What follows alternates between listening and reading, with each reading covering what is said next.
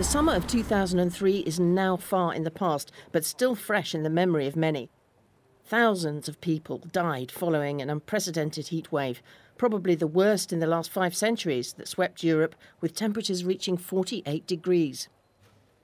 In some places, many hospitals and other health services were caught unprepared, as such a catastrophe had never occurred before in those proportions. In general practice, uh, I think we've tended to be a bit just in time, as you might say. Um, what we're learning is that if you know that the climate is going to change, especially if it's going to change uh, and affect a particular part of our patient population, then we can plan ahead. And, uh, and that's prevention, and that's where we should all be if we possibly can be. The situation has changed ever since that unforgettable summer.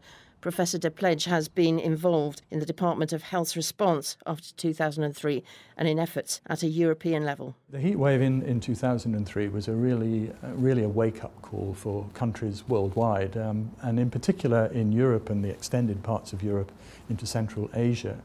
Uh, there, there was actually a project that the World Health Organization put together in response to the, the heat wave event, where it was uh, designed to help different countries make heat wave plans to uh, be able to uh, inform their citizens about what action they, sh they should take in the event of a heat wave in order to reduce their risks. To put optimal services in place, many institutions, including the Met Office, the Department of Health, Public Health England, London School of Hygiene and Tropical Medicine, as well as the European Centre for the Environment and Human Health, work together in partnership. On its side, the Met Office has developed health forecasting services in order to mitigate the impact of climate variability and change on people's health and healthcare services. Each one of the issues that arises, such as a heat wave or a flood, or the emergence of an infectious disease due to changes in climate, has health implications, has social implications, has implications for lifestyle, for economy. And so whenever we're developing policies to address these issues and to put in place either preventative measures or adaptive measures, everybody needs to be at the table. We need to have broad representation from policymakers in many different areas. Like Professor De Plege, Dr. Peter Stott of Met Office Hadley Centre has been busy trying to find ways in which climate services could be supported in health related policies. He stresses the importance of early warnings that should limit heat related deaths in the summer. We wrote a paper that looked at the 2003 heat wave and was the first paper to make a direct link between an, an individual uh, extreme weather event and climate change. Uh, because what climate change was doing was increasing temperatures and increasing the risk of such a severe heat wave with, with all its uh, really severe consequences.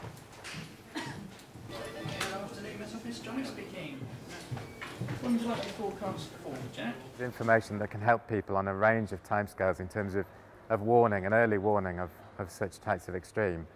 And that means not just on the, the weather forecast timescale of what's going to happen the next few days, but looking a season ahead. Is there an enhanced risk of a particularly uh, warm season, for example, but also looking ahead over the next decades. And, and that is about how climate change is playing out and, and how that's increasing our uh, exposure to such extremes.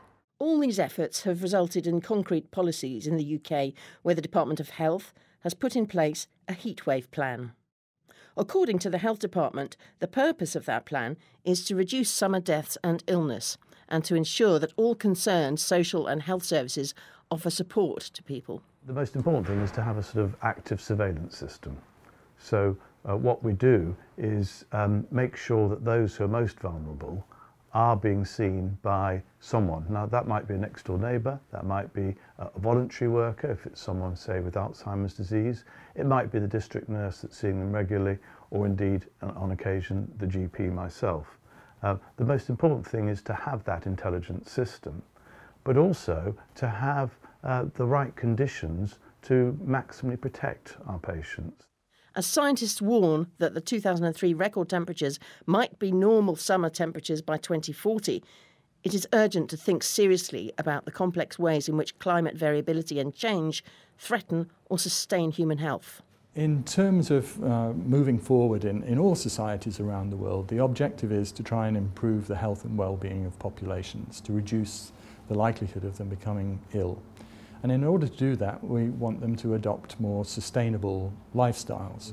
One of our challenges is to bring climate services to the right people at the right time across government departments.